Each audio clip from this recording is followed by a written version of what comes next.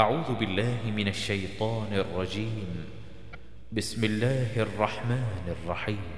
وحدثنا قتيبة بن سعيد عن مالك بن أنس عن هشام بن عروة عن أبيه عن عائشة. حا وحدثنا أبو بكر بن أبي شيبة واللفظ له. قال حدثنا عبد الله بن نمير.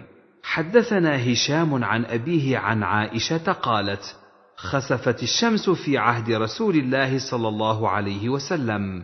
فقام رسول الله صلى الله عليه وسلم يصلي فأطال القيام جدا ثم ركع فأطال الركوع جدا ثم رفع رأسه فأطال القيام جدا وهو دون القيام الأول ثم ركع فأطال الركوع جدا وهو دون الركوع الأول ثم سجد. ثم قام فأطال القيام وهو دون القيام الأول ثم ركع فأطال الركوع وهو دون الركوع الأول ثم رفع رأسه فقام فأطال القيام وهو دون القيام الأول ثم ركع فأطال الركوع وهو دون الركوع الأول ثم سجد. ثم انصرف رسول الله صلى الله عليه وسلم وقد تجلت الشمس فخطب الناس فحمد الله وأثنى عليه ثم قال إن الشمس والقمر من آيات الله وإنهما لا ينخسفان لموت أحد ولا لحياته فإذا رأيتموهما فكبروا وادعوا الله وصلوا وتصدقوا يا أمة محمد إن من أحد أغير من الله. أن يزني عبده أو تزني أمته يا أمة محمد والله لو تعلمون ما أعلم لبكيتم كثيرا ولضحكتم قليلا. ألا هل بلغت؟ وفي رواية مالك إن الشمس والقمر آيتان من آيات الله. حدثناه يحيى بن يحيى أخبرنا أبو معاوية عن هشام بن عروة بهذا الإسناد وزاد ثم قال أما بعد فإن الشمس والقمر من آيات الله. وزاد أيضا ثم رفع يديه فقال اللهم هل بلغت؟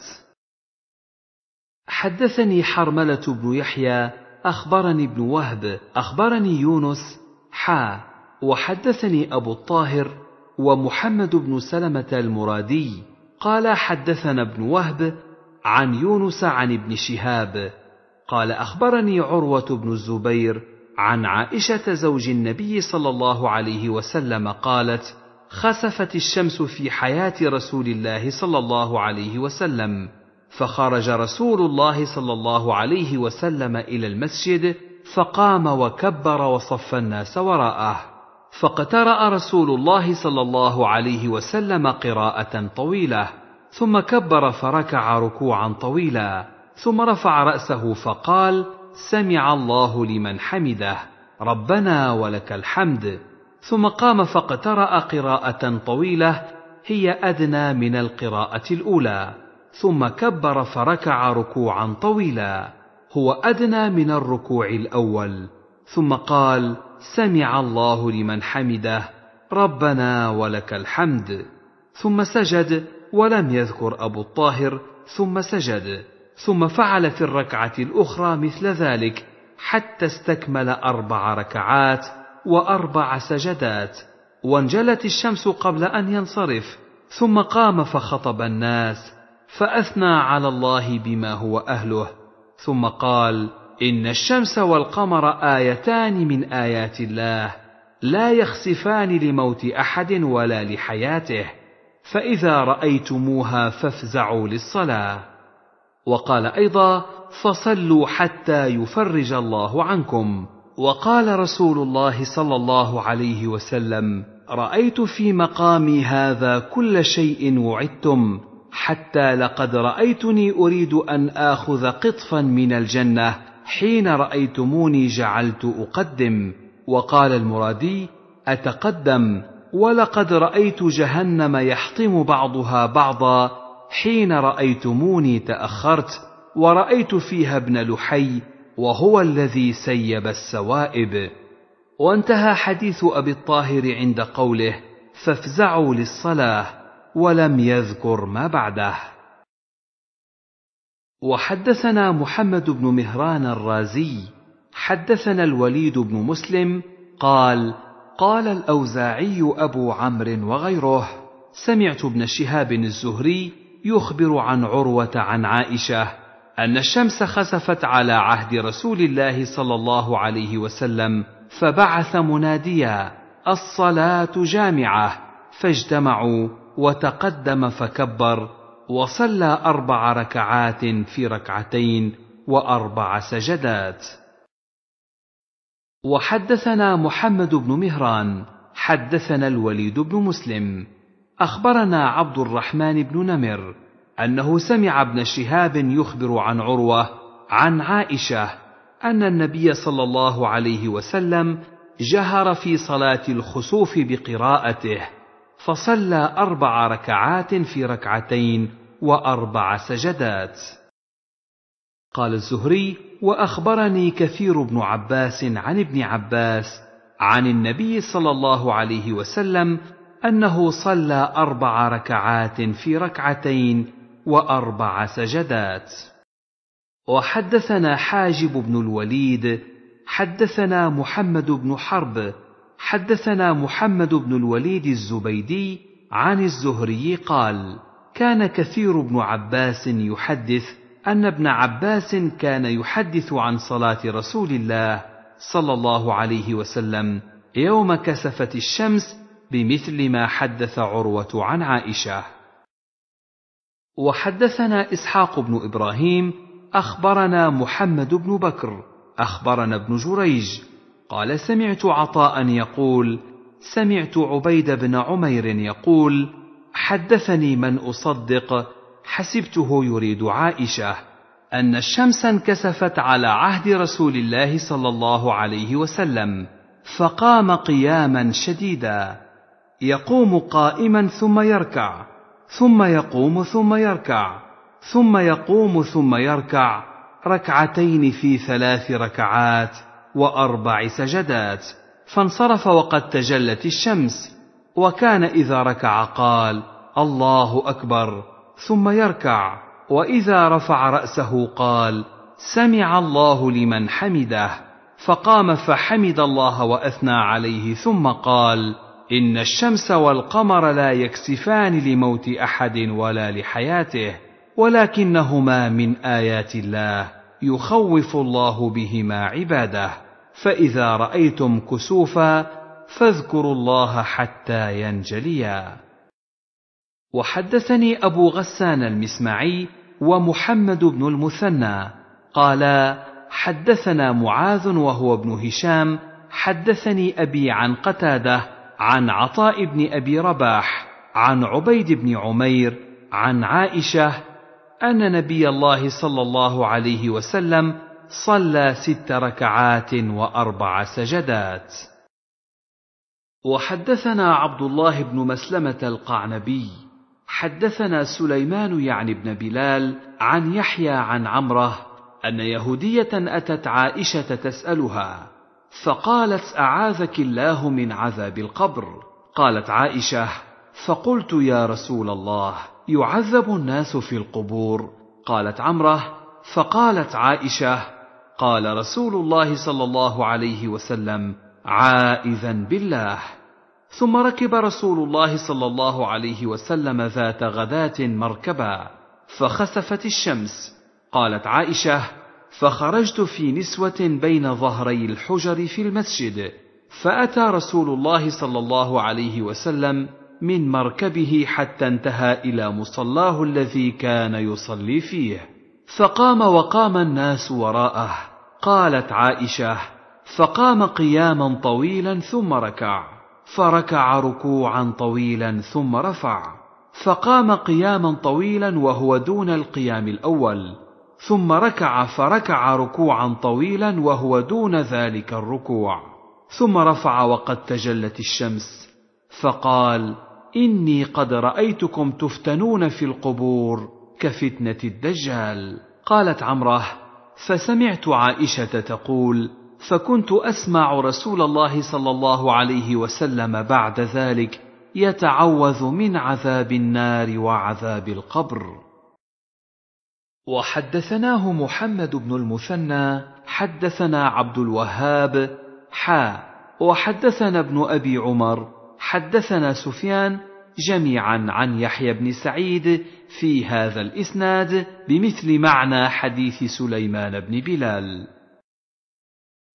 وحدثني يعقوب بن إبراهيم الدورقي حدثنا إسماعيل بن علية عن هشام الدستوائي قال حدثنا أبو الزبير عن جابر بن عبد الله قال كسفت الشمس على عهد رسول الله صلى الله عليه وسلم في يوم شديد الحر فصلى رسول الله صلى الله عليه وسلم بأصحابه فأطال القيام حتى جعلوا يخرون ثم ركع فأطال ثم رفع فأطال ثم ركع فأطال ثم رفع فأطال ثم سجد سجدتين ثم قام فصنع نحوا من ذاك. فكانت أربع ركعات وأربع سجدات. ثم قال إنه عرض علي كل شيء تولجونه فعرضت علي الجنة حتى لو تناولت منها قطفا أخذته أو قال تناولت منها قطفا فقصرت يدي عنه وعرضت علي النار. فرأيت فيها امرأة من بني إسرائيل تعذب في هرة لها. ربطتها فلم تطعمها ولم تدعها تأكل من خشاش الأرض. ورأيت أبا ثمامة عمرو بن مالك يجر قصبه في النار. وإنهم كانوا يقولون إن الشمس والقمر لا يخسفان إلا لموت عظيم. وإنهما آيتان من آيات الله يريكموهما. فإذا خسفا فصلوا حتى ينجلي. وحدثنيه أبو غسان المسمعي حدثنا عبد الملك بن الصباح عن هشام بهذا الإسناد مثله إلا أنه قال ورأيت في النار امرأة حميرية سوداء طويلة ولم يقل من بني إسرائيل حدثنا أبو بكر بن أبي شيبة حدثنا عبد الله بن نمير. حا وحدثنا محمد بن عبد الله بن نمير وتقارب في اللفظ. قال حدثنا أبي حدثنا عبد الملك عن عطاء عن جابر قال انكسفت الشمس في عهد رسول الله صلى الله عليه وسلم يوم مات إبراهيم ابن رسول الله صلى الله عليه وسلم. فقال الناس إنما انكسفت لموت إبراهيم. فقام النبي صلى الله عليه وسلم فصلى بالناس ست ركعات بأربع سجدات بدأ فكبر ثم قرأ فأطال القراءة ثم ركع نحوا مما قام ثم رفع رأسه من الركوع فقرأ قراءة دون القراءة الأولى ثم ركع نحوا مما قام ثم رفع رأسه من الركوع فقرأ قراءة دون القراءة الثانية ثم ركع نحوا مما قام ثم رفع رأسه من الركوع ثم انحدر بالسجود فسجد سجدتين ثم قام فركع أيضا ثلاث ركعات ليس فيها ركعة إلا التي قبلها أطول من التي بعدها وركوعه نحوا من سجوده ثم تأخر وتأخرت الصفوف خلفه حتى انتهينا وقال أبو بكر حتى انتهى إلى النساء. ثم تقدم وتقدم الناس معه حتى قام في مقامه فانصرف حين انصرف وقد آضت الشمس فقال يا أيها الناس إنما الشمس والقمر آيتان من آيات الله وإنهما لا ينكسفان لموت أحد من الناس. وقال أبو بكر لموت بشر فإذا رأيتم شيئا من ذلك فصلوا حتى تنجلي. ما من شيء توعدونه إلا قد رأيته في صلاتي هذه. لقد جيء بالنار. وذلكم حين رأيتموني تأخرت مخافة أن يصيبني من لفحها. وحتى رأيت فيها صاحب المحجن يجر قصبه في النار. كان يسرق الحاج بمحجنه. فإن فطن له قال إنما تعلق بمحجني وإن غفل عنه ذهب به. وحتى رأيت فيها صاحبة الهرة التي ربطتها فلم تطعمها ولم تدعها تأكل من خشاش الأرض حتى ماتت جوعا ثم جيء بالجنة وذلكم حين رأيتموني تقدمت حتى قمت في مقامي ولقد مددت يدي وأنا أريد أن أتناول من ثمرها لتنظروا إليه ثم بدا لي ألا أفعل. فما من شيء توعدونه إلا قد رأيته في صلاتي هذه. حدثنا محمد بن العلاء الهمداني حدثنا ابن نمير حدثنا هشام عن فاطمة عن أسماء قالت خسفت الشمس على عهد رسول الله صلى الله عليه وسلم فدخلت على عائشة وهي تصلي فقلت ما شأن الناس يصلون؟ فأشارت برأسها إلى السماء فقلت آية قالت نعم. فأطال رسول الله صلى الله عليه وسلم القيام جدا حتى تجلاني الغشي.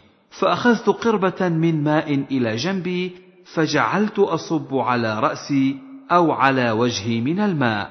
قالت فانصرف رسول الله صلى الله عليه وسلم وقد تجلت الشمس. فخطب رسول الله صلى الله عليه وسلم الناس.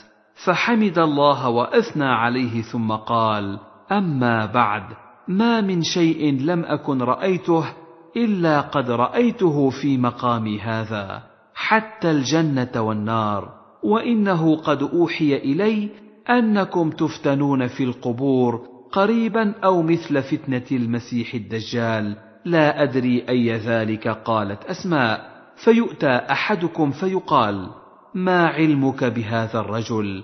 فأما المؤمن أو الموقن لا أدري أي ذلك قالت أسماء فيقول هو محمد هو رسول الله جاءنا بالبينات والهدى فأجبنا وأطعنا ثلاث مرار. فيقال له نم قد كنا نعلم إنك لتؤمن به فنم صالحا. وأما المنافق أو المرتاب لا أدري أي ذلك قالت أسماء فيقول لا أدري. سمعت الناس يقولون شيئا فقلت. حدثنا أبو بكر بن أبي شيبة وأبو كريب. قال حدثنا أبو أسامة عن هشام عن فاطمة عن أسماء قالت أتيت عائشة فإذا الناس قيام وإذا هي تصلي. فقلت ما شأن الناس؟ واقتص الحديث بنحو حديث ابن نمير عن هشام. أخبرنا يحيى بن يحيى أخبرنا سفيان بن عيينة عن الزهري عن عروة قال لا تقل كسفت الشمس ولكن قل خسفت الشمس. حدثنا يحيى بن حبيب الحارثي حدثنا خالد بن الحارث حدثنا ابن جريج حدثني منصور بن عبد الرحمن عن أمه صفية بنت شيبة عن أسماء بنت أبي بكر أنها قالت فزع النبي صلى الله عليه وسلم يوما قالت تعني يوم كسفت الشمس فأخذ درعا حتى أدرك بردائه فقام للناس قياما طويلا. ولو أن إنسانا أتى لم يشعر أن النبي صلى الله عليه وسلم ركع ما حدث أنه ركع من طول القيام. وحدثني سعيد بن يحيى الأموي حدثني أبي حدثنا ابن جريج بهذا الإسناد مثله وقال قياما طويلا يقوم ثم يركع وزاد فجعلت أنظر إلى المرأة أسن مني وإلى الأخرى هي أسقم مني. وحدثني أحمد بن سعيد الدارمي حدثنا حبان حدثنا وهيب حدثنا منصور عن أمه عن أسماء بنت أبي بكر قالت كسفت الشمس على عهد النبي صلى الله عليه وسلم ففزع فأخطأ بدرع حتى أدرك بردائه بعد ذلك. قالت فقضيت حاجتي ثم جئت ودخلت المسجد فرأيت رسول الله صلى الله عليه وسلم قائما فقمت معه. فأطال القيام حتى رأيتني أريد أن أجلس ثم ألتفت إلى المرأة الضعيفة فأقول هذه أضعف مني فأقوم فركع فأطال الركوع ثم رفع رأسه فأطال القيام حتى لو أن رجلا جاء خيل إليه أنه لم يركع. حدثنا سويد بن سعيد حدثنا حفص بن ميسرة حدثني زيد بن أسلم عن عطاء بن يسار عن ابن عباس قال انكسفت الشمس على عهد رسول الله صلى الله عليه وسلم فصلى رسول الله صلى الله عليه وسلم والناس معه فقام قياما طويلا قدر نحو سورة البقرة ثم ركع ركوعا طويلا ثم رفع فقام قياما طويلا وهو دون القيام الأول. ثم ركع ركوعا طويلا وهو دون الركوع الأول ثم سجد ثم قام قياما طويلا وهو دون القيام الأول ثم ركع ركوعا طويلا وهو دون الركوع الأول ثم رفع فقام قياما طويلا وهو دون القيام الأول ثم ركع ركوعا طويلا وهو دون الركوع الأول ثم سجد ثم انصرف وقد انجلت الشمس فقال إن الشمس والقمر آيتان من آيات الله لا ينكسفان لموت أحد ولا لحياته. فإذا رأيتم ذلك فاذكروا الله قالوا يا رسول الله رأيناك تناولت شيئا في مقامك هذا ثم رأيناك كففت. فقال إني رأيت الجنة فتناولت منها عنقودا ولو أخذته لأكلتم منه ما بقيت الدنيا. ورأيت النار فلم أر كاليوم منظرا قط ورأيت أكثر أهلها النساء. قالوا بم يا رسول الله؟ قال بكفرهن. قيل أيكفرن بالله؟ قال بكفر العشير وبكفر الإحسان. لو أحسنت إلى إحداهن الدهر ثم رأت منك شيئا قالت ما رأيت منك خيرا قط. وحدثناه محمد بن رافع حدثنا إسحاق يعني ابن عيسى أخبرنا مالك عن زيد بن أسلم في هذا الإسناد بمثله غير أنه قال ثم رأيناك تكعكعت حدثنا أبو بكر بن أبي شيبة حدثنا إسماعيل بن علية عن سفيان عن حبيب عن طاووس عن ابن عباس قال صلى رسول الله صلى الله عليه وسلم حين كسفت الشمس ثمان ركعات في أربع سجدات وعن علي مثل ذلك. وحدثنا محمد بن المثنى وأبو بكر بن خلاد كلاهما عن يحيى القطان. قال ابن المثنى حدثنا يحيى عن سفيان قال حدثنا حبيب عن طاووس عن ابن عباس عن النبي صلى الله عليه وسلم أنه صلى في كسوف قرأ ثم ركع ثم قرأ ثم ركع ثم قرأ ثم ركع ثم قرأ ثم ركع ثم سجد قال والأخرى مثلها. حدثني محمد بن رافع حدثنا أبو النضر حدثنا أبو معاوية وهو شيبان النحوي عن يحيى عن أبي سلمة عن عبد الله بن عمرو بن العاص. حا وحدثنا عبد الله بن عبد الرحمن الدارمي. أخبرنا يحيى بن حسان. حدثنا معاوية بن سلام عن يحيى بن أبي كثير. قال أخبرني أبو سلمة بن عبد الرحمن عن خبر عبد الله بن عمرو بن العاص. أنه قال لما انكسفت الشمس على عهد رسول الله صلى الله عليه وسلم نودي بي الصلاة جامعة. فركع رسول الله صلى الله عليه وسلم ركعتين في سجدة. ثم قام فركع ركعتين في سجدة. ثم جلي عن الشمس. فقالت عائشة ما ركعت ركوعا قط ولا سجدت سجودا قط. كان أطول منه. وحدثنا يحيى بن يحيى أخبرنا هشيم عن إسماعيل عن قيس بن أبي حازم عن أبي مسعود الأنصاري قال قال رسول الله صلى الله عليه وسلم إن الشمس والقمر آيتان من آيات الله يخوف الله بهما عباده وإنهما لا ينكسفان لموت أحد من الناس فإذا رأيتم منها شيئا فصلوا وادعوا الله حتى يكشف ما بكم. وحدثنا عبيد الله بن معاذ العنبري ويحيى بن حبيب قال حدثنا معتمر عن إسماعيل عن قيس عن أبي مسعود أن رسول الله صلى الله عليه وسلم قال إن الشمس والقمر ليس ينكسفان لموت أحد من الناس ولكنهما آيتان من آيات الله فإذا رأيتموه فقوموا فصلوا. وحدثنا أبو بكر بن أبي شيبة حدثنا وكيع وأبو أسامة وابن نمير.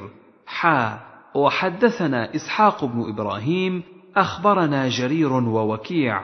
حا وحدثنا ابن أبي عمر حدثنا سفيان ومروان كلهم عن إسماعيل بهذا الإسناد.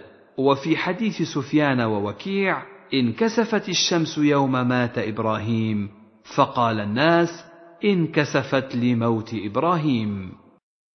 حدثنا أبو عامر الأشعري عبد الله بن براد ومحمد بن العلاء قالا حدثنا أبو أسامة عن بريد عن أبي بردة عن أبي موسى قال خسفت الشمس في زمن النبي صلى الله عليه وسلم فقام فزعا يخشى أن تكون الساعة حتى أتى المسجد. فقام يصلي بأطول قيام وركوع وسجود ما رأيته يفعله في صلاة قط ثم قال إن هذه الآيات التي يرسل الله لا تكون لموت أحد ولا لحياته ولكن الله يرسلها يخوف بها عباده. فإذا رأيتم منها شيئا فافزعوا إلى ذكره ودعائه واستغفاره. وفي رواية ابن العلاء كسفت الشمس وقال يخوف عباده. وحدثني عبيد الله بن عمر القواريري حدثنا بشر بن المفضل حدثنا الجريري عن أبي العلاء حيان بن عمير عن عبد الرحمن بن سمرة قال بينما أنا أرمي بأسهمي في حياة رسول الله صلى الله عليه وسلم إذ انكسفت الشمس فنبذتهن وقلت لأنظرن إلى ما يحدث لرسول الله صلى الله عليه وسلم في انكساف الشمس اليوم. فانتهيت إليه وهو رافع يديه يدعو ويكبر ويحمد ويهلل حتى جلي عن الشمس فقرأ سورتين وركع ركعتين. وحدثنا أبو بكر بن أبي شيبة حدثنا عبد الأعلى بن عبد الأعلى عن الجريري عن حيان بن عمير عن عبد الرحمن بن سمرة وكان من أصحاب رسول الله صلى الله عليه وسلم. قال كنت أرتمي بأسهم لي بالمدينة في حياة رسول الله صلى الله عليه وسلم إذ كسفت الشمس فنبذتها فقلت والله لأنظرن إلى ما حدث لرسول الله صلى الله عليه وسلم في كسوف الشمس. قال فأتيته وهو قائم في الصلاة رافع يديه فجعل يسبح ويحمد ويهلل ويكبر ويدعو حتى حسر عنها. قال فلما حسر عنها قرأ سورتين وصلى ركعتين. حدثنا محمد بن المثنى حدثنا سالم بن نوح أخبرنا الجريري عن حيان بن عمير.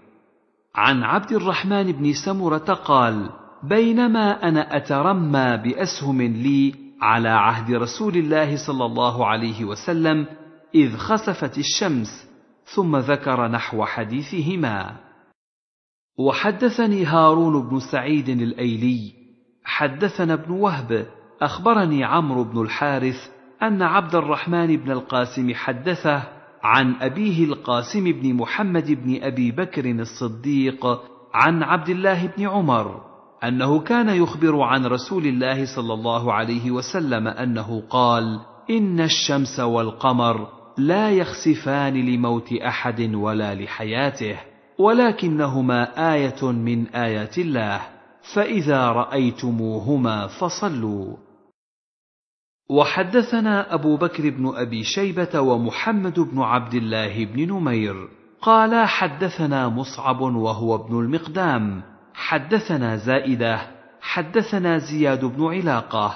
وفي رواية أبي بكر قال قال زياد بن علاقة سمعت المغيرة بن شعبة يقول انكسفت الشمس على عهد رسول الله صلى الله عليه وسلم يوم مات إبراهيم. فقال رسول الله صلى الله عليه وسلم إن الشمس والقمر آيتان من آيات الله لا ينكسفان لموت أحد ولا لحياته فإذا رأيتموهما فادعوا الله وصلوا حتى ينكشف.